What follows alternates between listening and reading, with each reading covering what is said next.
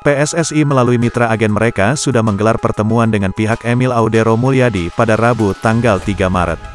Pada pertemuan tersebut Emil Audero sendiri tidak hadir dan diwakilkan oleh sang manajer. Hasil dari pertemuan tersebut pihak Emil Audero meminta waktu satu hari kepada PSSI untuk memberikan jawaban. PSSI pun memberikan batas waktu kepada Emil Audero hingga Jumat tanggal 4 Maret. Sayangnya, hingga deadline yang ditentukan, Emil Audero belum juga memberikan jawaban. Anggota Exco PSSI, Hasani Abdul Ghani, menjelaskan Emil Audero belum bisa menjawab karena saat ini sedang berlibur. Hasani mengatakan bahwa Emil Audero meminta waktu tambahan kepada PSSI.